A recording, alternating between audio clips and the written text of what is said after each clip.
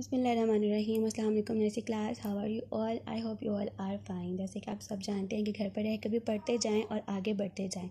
We will start the English work take out the page number sixteen today we will write फा आज इसके next two step हैं।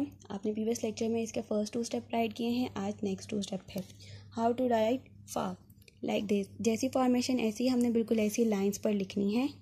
Do not write like this on your book इसमें फा की formation बहुत गंदी है। बेली बहुत बड़ी है आई बहुत बड़ी है, टिक की फॉर्मेशन ठीक नहीं है तो आपने अपना फ़ा ऐसे लिखना है और ऐसे लिखना है। आइए मैं आपको लिखना बताती हूँ। First of all we can make take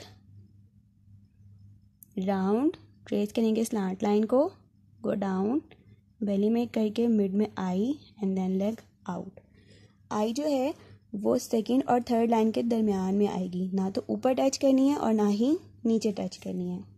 Look again take round, slant line, belly and then leg out ये स्टेप है आपका स्लांट लाइन पर। नेक्स्ट स्टेप है हमारा विदाउट स्लांट लाइन क्या स्टेप है without slant line two dots हैं make करेंगे टेक फ़र्स्ट डॉट से सेकंड डॉट पे मेक करेंगे लूप फ़र्स्ट से सेकंड लाइन तक स्लांट लाइन फोर लाइन तक राउंड मेक करके आई मेक करेंगे and then leg out it will become फा look again take round slant line belly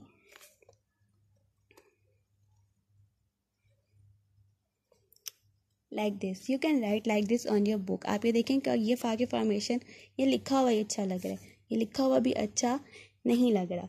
next आपने फ़ा ऐसे नहीं लिखना। बड़ा सा लूप और फिर ऐसे, ये क्या हो जाएगा?